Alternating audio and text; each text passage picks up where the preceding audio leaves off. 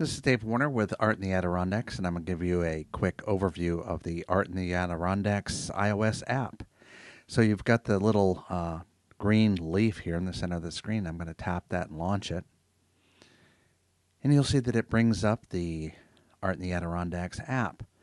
Down along the bottom, you've got navigation. You've got a news feed that basically brings in all the press releases and things like that that we uh, post online. And you can see there's one here, Valerie Patterson exhibit. And so we're going to tap that top one.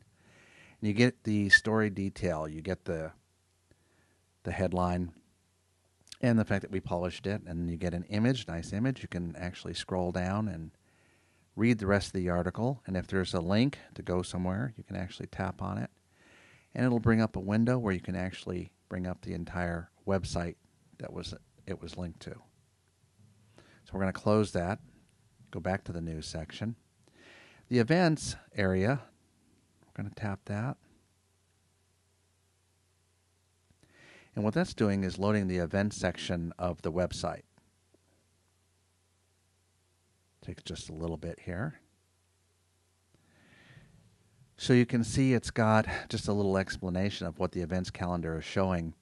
And then this is the first 16, these little red pins are the first 16 uh, locations that are listed in the app for the events coming up. And you can see right here, here's the first event. And here's another one. And kind of scroll down and let's go ahead and look at the uh, form and decoration here. Cultivating Harmony. Tap on that to get the detail of that. And you'll see that there's an image here and an explanation. A lot of detail in this one. And then you can export this to Google Calendar or iCal. And it's got more specific information about where it is. And it shows you a little map location of where it is. So you tap the back button, it goes back to the page you were on showing all the different events. Members is an area that shows all the different people that are in our database. So, for instance, it's sorted by all the different groups here. And let's just say art centers. We'll pick that and see what we've got listed. Got a listing of these here. So let's take the Adirondack Lake Center for the Arts in Blue Mountain Lake. Tap that first one.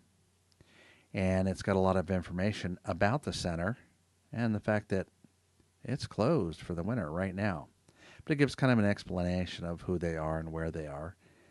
And you can see their website. If you tap on See Website, you can send an email. If you say Send Email, if you tap the phone, it will actually call.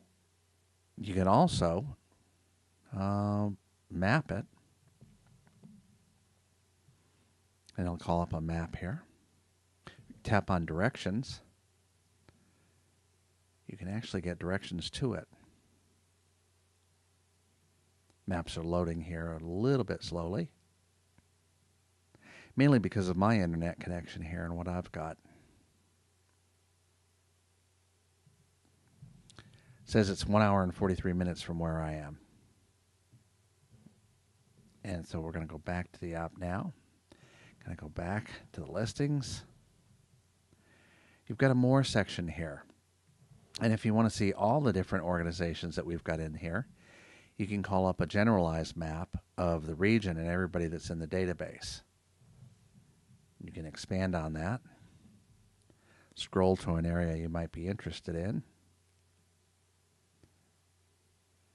tap on a specific one, and you'll see what it is. Go back to the More section here. Broadcasts, those are podcasts, videocasts, and things like that that we do from time to time.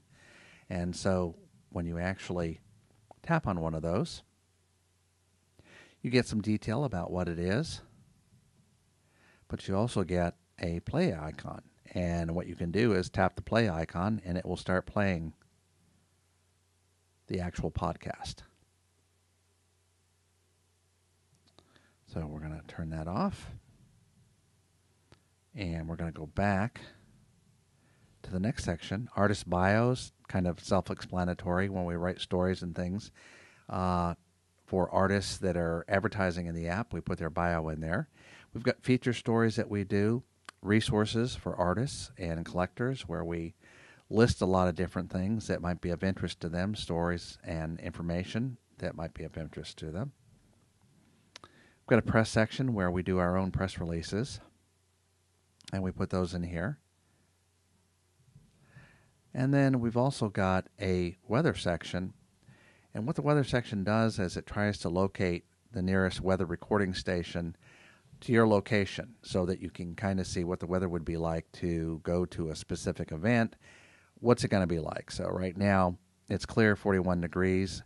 It picked Dallasville as the closest weather recording station to where I am.